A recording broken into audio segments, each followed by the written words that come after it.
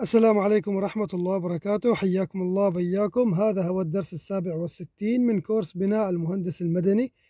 نذكركم يا أحبة الاشتراك بالقناة وتفعيل زر الجرس ليصلكم جديد كورس بناء المهندس المدني والكورسات الأخرى القادمة بإذن الله تعالى على هذه القناة. الآن يا أحبة سنتحدث عن موضوع رطوبة السقف أو الجدران. ما أسبابها وكيف تعالج؟ لو نلاحظ بهذه الصورة هذه صورة لغرفة عبارة عن جدار وسقف. هذا الظاهر لنا. نلاحظ عليها وجود عفن. هذا الذي باللون الأسود الذي الذي يظهر أحيانا هذا هو العفن. طبعا هذا العفن تقريبا مثل عفن الخبز نفس الشكل يظهر على الأسقف ويظهر على الجدران. ما سبب هذا العفن؟ سببه هو وجود رطوبة على الجدران وبالسقف. هذه الرطوبة مع الأيام تسبب وجود هذا العفن. طيب ما أسباب الرطوبة نفسها؟ هذه سنتحدث عنها الآن لكن قبل هذا موضوع العفن حتى ننتهي منه. العفن هذا هو نتيجة يعني هو نتيجة الرطوبة الموجودة بالغرفة. طيب هذا العفن ما يسبب؟ هذا يا أحبة الأطباء يقولوا أنه يسبب ضعف في التنفس والذين عندهم مرض الربو يعانون أشد المعاناة إذا كان ثمة عفن بالغرف.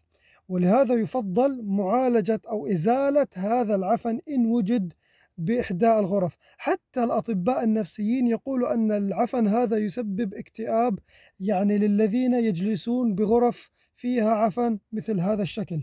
وأنت يعني تلقائيا لو تفكر فيها لو تجلس بغرفة فيها عفن مثل هذا الشكل وغرفة أخرى نظيفة ودهانها جيد ويعني غرفة منتظمة لا شك أن النفسية تتغير من هذه الغرفة النظيفة المنتظمة إلى الغرفة يعني التي فيها عفن مثل هذه طيب كيف يعالج هذا العفن؟ هذا العفن لا يعالج بمجرد المياه طبعا يوجد عدة طرق وهو أن تخلط مياه وملح وتزيل هذا العفن بالمياه والملح وأنا هذه الطريقة لا أفضلها حقيقة.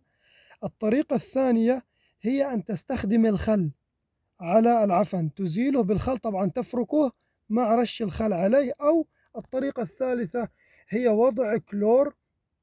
هذا الكلور نفسه المنظف الكلورات التي تنظف بالمنظفات المنزلية. أيضا هذا نافع في إزالة هذا العفن. خاصة بالمناسبة هذا العفن يظهر متى؟ يظهر بفصل الشتاء. مع هطول الأمطار يظهر هذا العفن إذا كان ثمة رطوبة تصل إلى إلى المنزل. طيب آه بالصيف ينصح بفتح الشبابيك وحتى بالشتاء إذا كانت يعني ثمة شمس ينصح بفتح الشبابيك حتى تهوى الغرفة حتى تحد من وجود هذا العفن. نحن الآن تحدثنا عن العفن. طيب ما السبب الذي وصل الغرفة لأن يحدث فيها هذا العفن؟ قلنا السبب هو وجود رطوبة سواء في الجدار أو في السقف.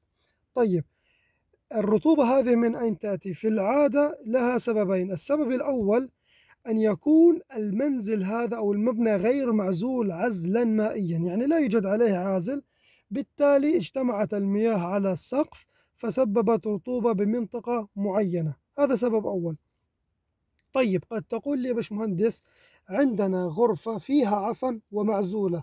بهذه الحالة العازل هذا العازل إما أن يكون مغشوش يعني العازل نفسه رديء العزل نفسه رديء وإما أنه نفذ بطريقة خطأ أو كانت يعني الذين نفذوه ما نفذوه بالطريقة الصحيحة. فلهذا تركوا فيه مناطق ضعف أدت إلى وصول الرطوبة للسقف. طيب الآن سبب ثاني غير موضوع عدم العزل هو الشروخ. يعني بحال لو وجد شرخ بالجدار هنا تجد أن مع هطول الأمطار بأمر من الله سبحانه وتعالى. المياه تنتقل إلى تنتقل إلى الغرفة من خلال هذه الشروخ سواء في الجدار عند الكمرات أو في الأسقف مثلا. أحيانا يكون ثمة شرخ غير ظاهر لكن هو الذي يسبب هذا هذه الوصول وصول قطرات المياه للداخل. يعني تسبب الرطوبة. بالتالي يحاول المالك أن يبحث عن مكان الشرخ بدقة ويملأ هذا الشرخ يعني يعالج هذا الشرخ بالعلاج المناسب. طيب لو وجدت مثلا وجود تجمع لمياه أمطار هنا مثلا على سبيل المثال بهذه المنطقة. وذهبت إلى السطح العلوي ولم تجد وجود شرخ. كيف تحدد مكان الشرخ بالتحديد؟ بكل بساطة تقيس هذه المسافة من هنا إلى هنا وتقيس المسافة من هنا إلى هنا ثم تذهب للسطح العلوي فتقيس نفس المسافات بالتالي تحدد المنطقة التي يوجد فيها قطرات المياه. واضح؟